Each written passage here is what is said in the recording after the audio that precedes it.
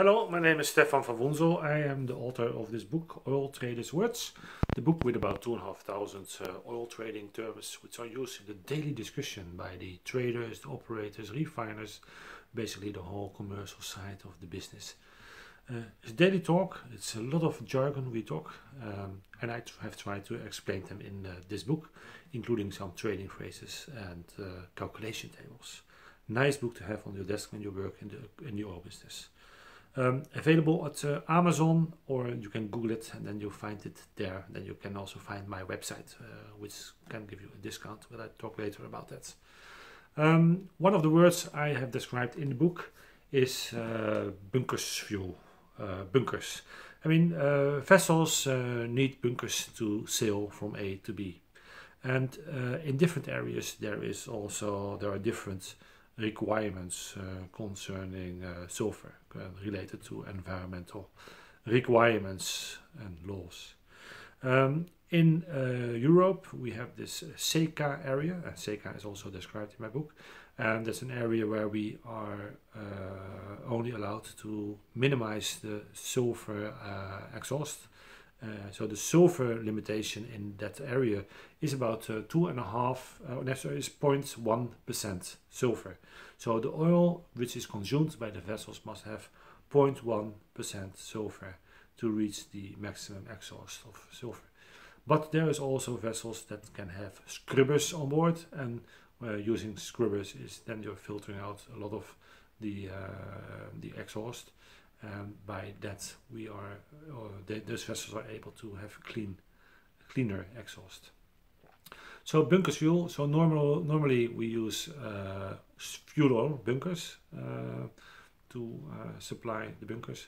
Uh, that is happening for example in uh, Singapore. Uh, there's three and a half percent three and a half percent of sulfur allowed there.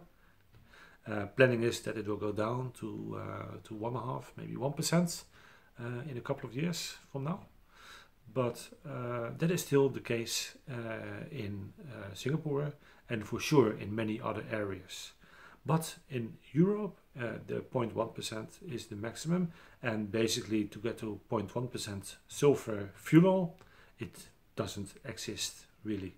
So they had to go over to another quality, which is the diesel. So they use the middle distillates uh, as bunker fuel. And that, of course, uh, results in higher prices for sailing from A to B because fuel oil is much, much cheaper uh, than uh, diesel. And then we talk about maybe 200 $300 per ton, 300 maximum maybe, which, is, which has a lot of effect on the shipping market and the prices. But this is the environment which is important to all and it's part of all the cost uh, in the business and at the end of the day of course it's always the consumer uh, paying for it because every cost of transport is always calculated uh, to the final consumer and that is you and me so this is a bit uh, there, there's much more about bunker fuel and about the bunker qualities and the various uh, naming of the qualities in the book uh, so please have a look go to amazon.com, go to Google and find the book. And as promised, uh, there was a discount on my website. If you go to the website oiltraderswords.printtrail.com and then you can type a code which is OILYT. Um, then you get 5% discount uh, if you buy the book over there. But it's up to you to decide if you want the book. Um, just uh, Google it, uh, find it. Uh, I hope I made you curious. So uh, up to you. It's uh, your call, and there is a lot of uh, information not only about bunkers but also about uh, the trading, refining, qualities, technical trading, etc., etc. So up to you. I wish you a very nice day and good luck with your decision. Thank you. Bye.